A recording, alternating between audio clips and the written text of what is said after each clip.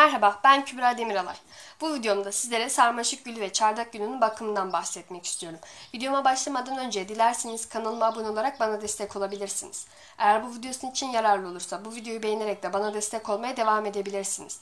Dileyenler Kübra Demiralay 7 Instagram hesabından da benimle iletişime geçebilirler.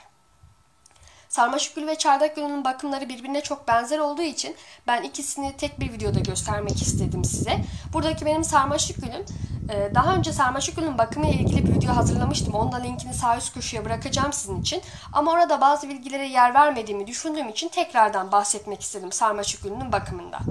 Sarmaşık gülü ve çardak gülü aynı yerde olmadığı için de ikisini aynı anda gösteremiyorum şu an ben size. Bunun için çardak gülünün videosunu ayrı çekip sonradan iki videoyu birleştireceğim. İlk olarak güneş ihtiyacıyla başlamak istiyorum. Sarmaşık gölü de çardak gölü de güneşi çok fazla seviyorlar. Yani bol güneş alan yerlerde bulundurmanız onlar için daha iyi olur. Çünkü gölge veya yarı gölge ortamlarda çok iyi bir şekilde gelişim göstermeyebiliyorlar.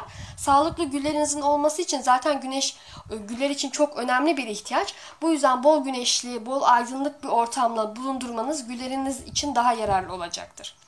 Toprak ile devam etmek istiyorum. Ben e, bahçe toprağı kullanıyorum. Güller zaten çok uyumlu bitkiler oldukları için çok fazla toprak ayırt etmiyorlar açıkçası. E, siz de bahçenize rahatlıkla ekebilirsiniz.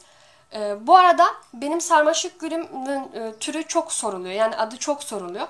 Ben bunu anneannemden almıştım. Türü konusunda açıkçası çok fazla bir bilgim yoktu. Araştırdım ve pompon sarmaşık gülü olarak geçtiğini öğrendim. Lakin bu konuda da çok kesin bir şey söyleyemiyorum. Sadece araştırmalarım sonucu bu ada ulaştım. Onu da size belirtmek istiyorum. Sulama konusuna da değinmek istiyorum. Sarmaşık gülü ve çardak gülünü toprak kurdukça sulamanız yeterli olacaktır. Onun haricinde sulama yaparken aşırıya kaçmamanız e, kaçmamanızda yarar var. Çünkü fazla sulama kök çürüklerine sebep olabili olabiliyor. Bu yüzden aşırı bir sulama yapmamaya özen gösterin. Sarmaşık ve çardak güllerinde budama farklılık gösteriyor. Bunu özellikle belirtmek istiyorum. Çünkü diğer güllerde budama dibe yakın bir şekilde yapılırken bu güllerde öyle bir budama yapmıyorum, yapmıyorum ben. Zaten böyle boyları çok fazla uzayan bitkiler. Yalnızca e, istemediğim dalları varsa, kurumuş olan kısımları varsa onun onları kesiyorum. Onun haricinde herhangi bir şekilde budama yapmıyorum sarmaşık gülü ve çardak gülünde. Benim sarmaşık gülüm ve çardak gülüm ilkbahar ayında çiçek açıyorlar. Ee, çok soru geliyor e, yedi veren türü mü değil mi diye. Benim sarmaşık gülüm ve çardak gülümde ikisi de yedi veren türü değil. Bunu da özellikle belirtmek istiyorum. İlkbahar ayı geldiğinde sarmaşık ve e, çardak güllerine ben gübre veriyorum. Şeker gübresi diğer adıyla da üre gübresi olarak geçiyor bu. Bundan yarım yemek kaşığı toprağın üzerine serpiştiriyorum ve e, sulamasını gerçekleştiriyorum. Eğer siz bunu yağmurlu günlerde yaparsanız bu toprağa daha iyi karışacaktır. Bu, bu yüzden de bu gübreyi yağmurlu günlerde vermenizi tavsiye ediyorum ben. Kışın soğuktan koruma yapmıyorum. E, sarmaşık gülü ve çardak gülünde ben. Akdeniz bölgesinde zaten kışlar ılıman geçtiği için ihtiyaç olmuyor çok fazla. E, siz genel olarak e, soğuğa dayanıklı bitkiler zaten e, sarmaşık gülü de, çardak gülü de tüm güller için konuşuyorum. Hepsi soğuğa dayanıklı bitkiler. Yalnız bulunduğunuz iklimin, sizin bulunduğunuz iklimde aşırı don olayları gözüküyorsa eğer soğuktan korumanız gerekebilir. Bunu da özellikle belirtmek istiyorum. Çünkü ben Akdeniz bölgesinde yaşadığım için e, burada e, çok fazla soğuk olmuyor. Bu yüzden ben herhangi bir şekilde koruma yapmıyorum.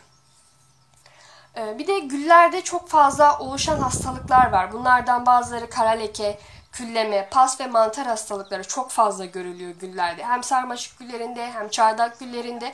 Ben bunun için mantar ilacı kullanıyorum. Yalnız e, bu ilaçları kullanırken yani bitkilerinizde, çiçeklerinizde, tüm çiçekler için konuşuyorum ilaç kullanırken bunları bir ziraatçıya danışarak kullanmanızı tavsiye ediyorum. Bir ziraatçıya danışmadan herhangi bir şekilde ilaç kullanmamalısınız. Çünkü yanlış ilaçlar bitkinize zarar verebilir. Bunu özellikle belirtmek istiyorum ben size. Yapraklar çıkmaya başladığında da ben mantar ilacı kullanıyorum. Bunun nedeni ise ileride oluşabilecek hastalıklara karşı önlem olması için. Daha önceki gül bakımında da bahsetmiştim. Daha önce gül bakımı ile ilgili bir video hazırlamıştım. Onun linkini de zaten sağ üst köşeye bırakacağım. Dileyenler o videoya da o linkten ulaşabilirler. Güllerde e, tomurcuklanma başladığında o tomurcuklarda böyle yeşil yeşil böcekler oluşabiliyor. Bunun için ben e, püseron, e, püseron ilacı kullanıyorum. Zaten püseron da yaprak biti demek. Yaprak biti ilacı kullanıyorum. Siz de bir ziraatçıya danışarak bu ilacı temin ederek bu gibi durumlarda kullanabilirsiniz. Şimdi size çardak gülümü göstermek istiyorum. Bende aslında iki farklı türde çardak gülü var. Buradaki sarı olan e, ben diğerini e, gösteremeyeceğim size çünkü o farklı bir yerde. Onun da fotoğrafını buraya koymaya çalışacağım. E, onu da göstermek için. Şimdi bu sarı olan çok yoğun ve güzel bir kokuya sahip. Bu şekilde o da bu da böyle çok uzun boylu oluyor. Yani boya doğru bir uzama gerçekleştiriyor ve e, çok ağır olduğu için dallarını taşıyamadığı için sizin ona destek vermeniz gerekiyor.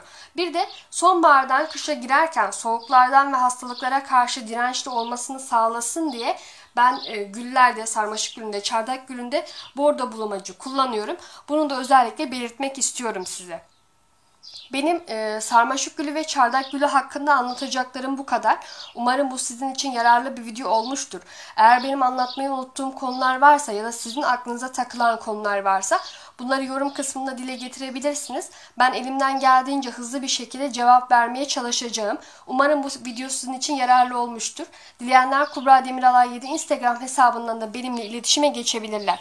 Önümüzdeki videolarda görüşmek üzere. Hoşçakalın.